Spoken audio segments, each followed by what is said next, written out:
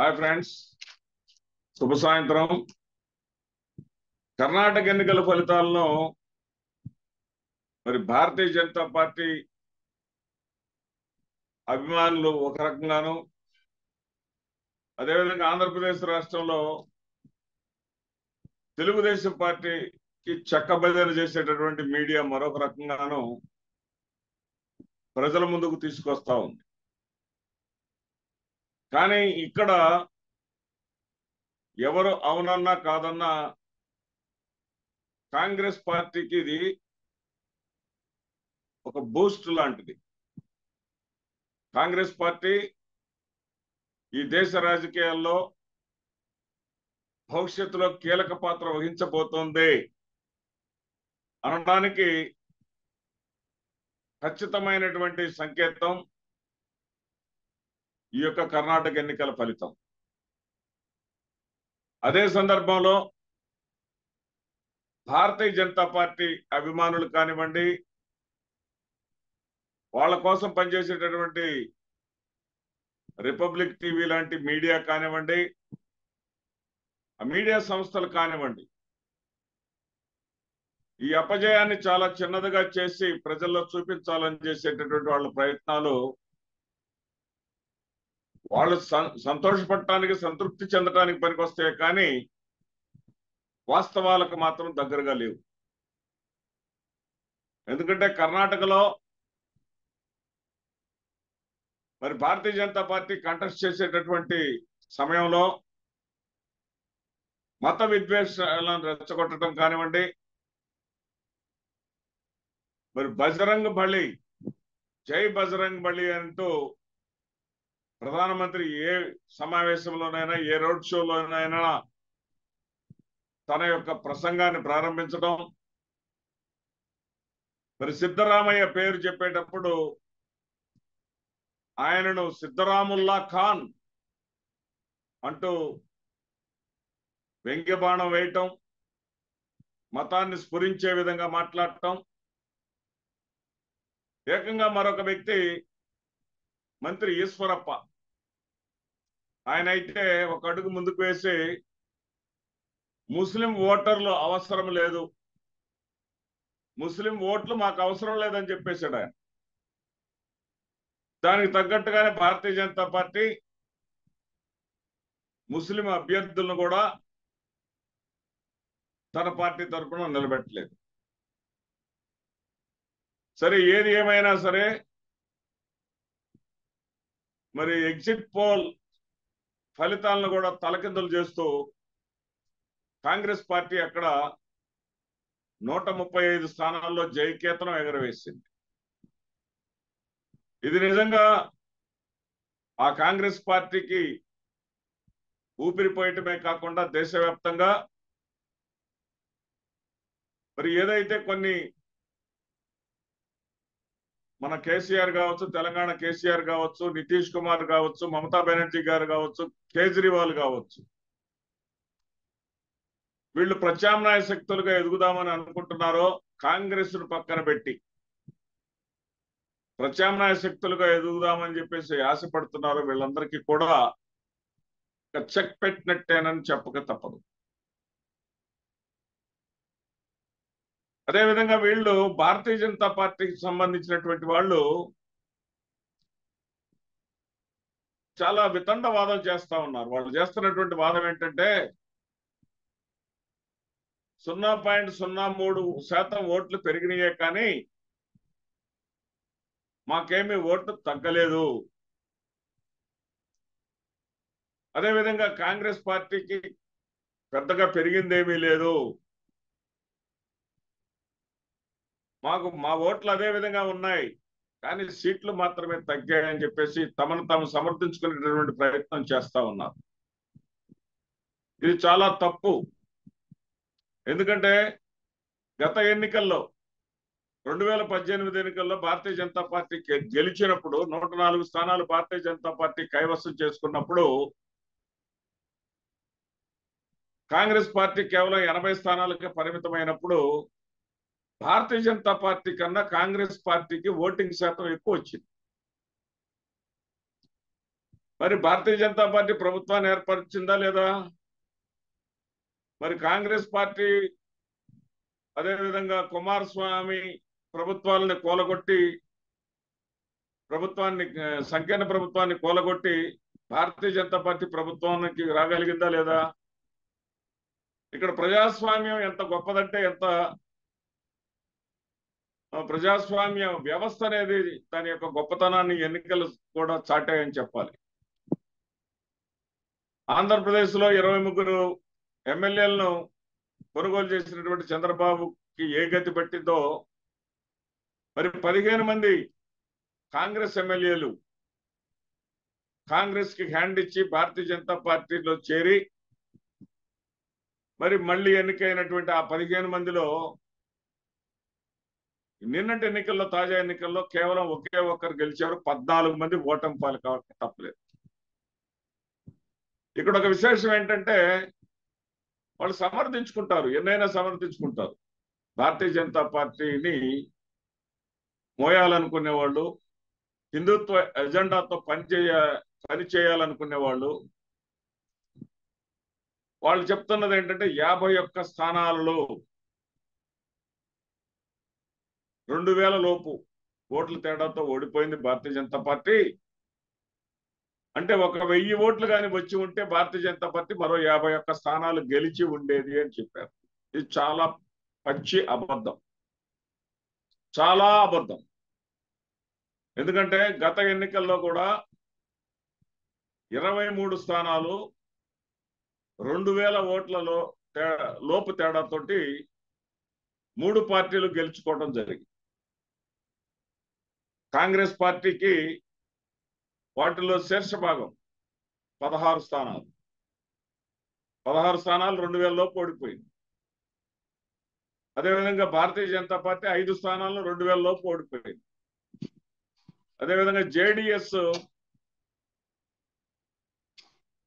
మూడు స్థానాలను రెండు వేల లోపు ఓట్లతోటి ఓడిపోయింది. ఇది చరిత్ర ఇది నిజం. అంటే గత ఎన్నికల్లో ఇరవై మూడు స్థానాలని ఆ విధంగా ఓడిపోతే ఈ రోజున ముప్పై మూడు స్థానాలని అన్ని పార్టీలు కోల్పోవడం జరిగింది. అంటే పదహారు సీట్లను రెండు వేల ఓట్ల లోపు కోల్పోయినటువంటి కాంగ్రెస్ పార్టీ ఒక సీట్ అదనంగా అంటే పదిహేడు సీట్లను ఈ ఎన్నికల్లో తాజా ఎన్నికల్లో కోల్పోవడం జరిగింది. భారతీయ జనతా పార్టీ కేవలం ఐదు స్థానాలను రెండు వేల ఓట్ల లోపు కోల్పోయినటువంటి భారతీయ జనతా పార్టీ ఈసారి పదమూడు స్థానాలను అంటే ఎనిమిది స్థానాలు పెంచుగా కోల్పోవడం జరిగింది. అదేవిధంగా జేడిఎస్ కూడా గత ఎన్నికలో మూడు స్థానాలను కోల్పోతే ఇప్పుడు అదనంగా ఒక స్థానం. నాలుగు స్థానాల్లో ఆ విధంగా కోల్పోవడం జరిగింది రెండు వేలలో అంటే దీని అర్థం ఏంటి? పది స్థానాలు అదనంగా రెండు వేలలో ఓడిపోవడం జరిగింది. ఈ పది స్థానాల్లో కూడా శీర్ష భాగం కాంగ్రెస్ పార్టీదే. ఇక ఓటింగ్ శాతం గురించి లెక్కలేస్తా ఉన్నారు. గతంలో నలభై మూడు పాయింట్ ఏడు ఆరు శాతం ఓట్లు తెచ్చుకున్నటువంటి మరి కా- కాంగ్రెస్ పార్టీకి చెందినటువంటి వీరేంద్ర పాటిల్ అతని నాయకత్వంలో రెండు వందల ఇరవై నాలుగు స్థానాల్లో ఇరవై నాలుగు స్థానాల్లో నూట డెబ్బై ఎనిమిది స్థానాలను కాంగ్రెస్ పార్టీ కైవసం చేసుకోవడం జరిగింది. ఇప్పుడు దాదాపుగా అంతే శాతం అంటే సున్నా పాయింట్ ఏడు ఏడు శాతం అంటే ఒకటి కూడా కాదు నిండా ఏడు ఏడు శాతం అంతకన్నా తక్కువగా వచ్చినటువంటి ఈ ఇప్పటి ఎన్నికల్లో కాంగ్రెస్ పార్టీ నూట ముప్పై ఐదు స్థానాలను కైవసం చేసుకుంది. మరి ఏ రకంగా చూసినా ఇది సునామీ లాంటి ఫ- ఫలితం మెరుగు మెరుగైనటువంటి ఫలితం. అదేవిధంగా వాళ్ళు చెప్తున్నటువంటి అబద్ధాలను కానీ మనం ఒకసారి చూసుకుంటే ఏ దే ఏ రాష్ట్ర ఎన్నికల చరిత్రలో కూడా ఒక దేశ ప్రధాని ఇంతగా పనిచేయలేదు ఇంతగా ప్రచారం చేయలేదు. ఇన్ని రోడ్ షోలు చేయలేదు. ఇన్ని ఇంతగా చేసినప్పటికీ కూడా బెంగళూరు ప్రాంతంలో ఆయన ఇరవై రెండు చోట్ల మరి ఆయన మోడీ గారు ప్రచారం చేస్తే పదిహేను చోట్ల భారతీయ జనతా పార్టీ ఓడిపోవడం జరిగింది. ముఖ్యంగా బెంగళూరు చుట్టుపక్కల అయితే పదిహేనులో ఒకే ఒక్క స్థానం గెలవటం జరిగింది పద్నాలుగు చోట్ల ఓడిపోవడం జరిగింది. ఇక భారతీయ జనతా పార్టీ ఈ మెజారిటీల గురించి మాట్లాడుతూ ఉంది. అసలు ఆ మెజారిటీల్లోని నిజాల్లోకి వెళితే భారతీయ జనతా పార్టీకి జరిగినటువంటి గౌరవమానం శరాఘాతం అని చెప్పక తప్పదు. ఎందుకంటే ఐదు వేల లోపు ఓట్ల తేడాతో ఐదు వేల ఓట్లు రెండు వేలు కాసేపు పక్కన పెడతాం ఐదు వేల ఓట్ల తేడాతో ఓడిపోయినటువంటి సీట్లు ఇరవై రెండు ఉన్నాయి. ఇరవై రెండులో పదిహేడు కాంగ్రెస్ పార్టీవే అంటే ఆ లెక్కన కాంగ్రెస్ పార్టీ కొంచెం జాగ్రత్త పడి ఉన్నడితే నూట ముప్పై ఐదుకు మరో పదిహేడు గెలిచాయి అనమాట అంటే భారతీయ జనతా పార్టీ స్థానం ఎక్కడ ఉంటుందో ఒకసారి చూసుకోండి. ఒకసారి ఆలోచించండి. ఇంకా ఆశ్చర్యకరమైనటువంటి విషయం ఏంటంటే భారతీయ జనతా పార్టీకి వచ్చినటువంటి అరవై ఆరు స్థానాల కన్నా కూడా ఎక్కువ సంఖ్యలో అంటే ఐదు వేలు కాకుండా సగటున నలభై వేలకు పైగా ఓట్ల తేడాతోటి దాదాపు వందకు పైగా సీట్లలో భారతీయ జనతా పార్టీ ఓడిపోయింది. భారత జన భారతీయ జనతా పార్టీ కావచ్చు జేడిఎస్ కావచ్చు. ఆయా పార్టీలు కాంగ్రెస్ చేతిలో నలభై వేలకు పైగా ఓట్ల మెజారిటీతో ఓడిపోయాయి కుప్పకూలిపోయాయి. ఇది నిజం.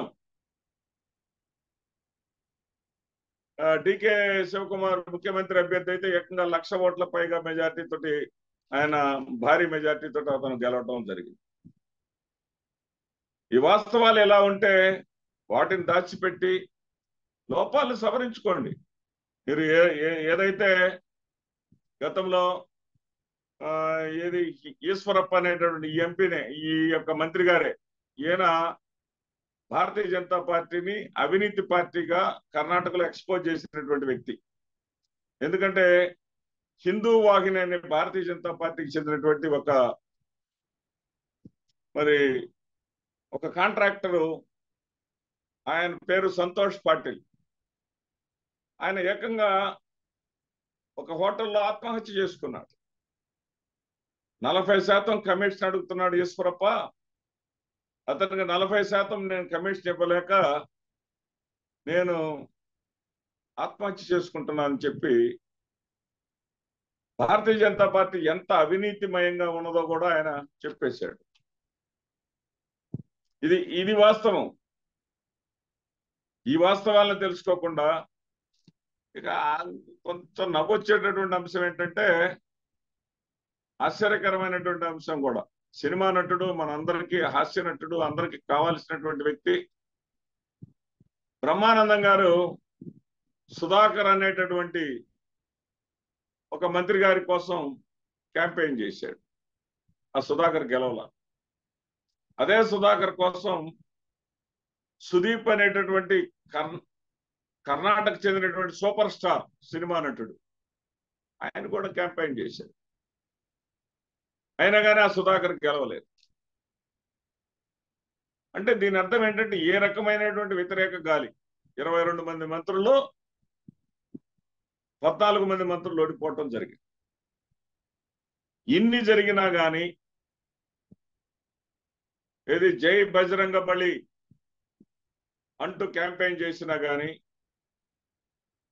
మరి బజరంగ దళను రద్దు చేస్తామని కాంగ్రెస్ చెప్పింది అనేటటువంటి ఒక వాదంతో హిందువులు రెచ్చగొట్టినప్పటికీ కూడా ఇక్కడ పెద్ద తేడాలేం జరగలేదు. ముస్లింలు గంపగుత్తగా కాంగ్రెస్ పార్టీకి ఏం ఓటేయలేదు ముస్లింలు గంపగుత్తగా కాంగ్రెస్ పార్టీకి ఓటు వేసి ఉన్నట్టే పాయింట్ మూడు శాతం బీజేపీకి ఓటింగ్ ఎక్కడ నుంచి వస్తుంది? కాంగ్రెస్ పార్టీకి గతంలో కన్నా కూడా పెరిగినటువంటి ఓటింగ్ శాతం రెండు పాయింట్ ఒకటి మాత్రమే. రెండు పాయింట్ ఒకటి మాత్రమే. జేడిఎస్కి నాలుగు పాయింట్ తొమ్మిది శాతం తగ్గిపోయింది కాబట్టి కాంగ్రెస్ పార్టీ భారతీయ జనతా పార్టీల మధ్య అంటే అధికారంలోకి వచ్చినటువంటి కాంగ్రెస్ పార్టీకి భారతీయ జనతా పార్టీకి మధ్య ఏడు శాతం స్పష్టమైనటువంటి తేడా కనిపిస్తా ఉంది. అంటే ఏడు శాతం ఓట్లతోటి అధికారం దక్కించుకోవటం అంటే ఈ నవ ప్రజాస్వామిక యుగంలో తక్కువ చిన్న అంశమేమి కాదు. ముప్పై ఆరు శాతం భారతీయ జనతా పార్టీకి మరి నలభై మూడు శాతం కాంగ్రెస్ పార్టీ. ఇది ఏ రకంగా చూసినా సరే కాంగ్రెస్ పార్టీని కాదని ప్రధానమంత్రి పదవి రేసులో ఉండాలని కోరుకునేటటువంటి వాళ్ళు ఉన్నారు కొంతమంది.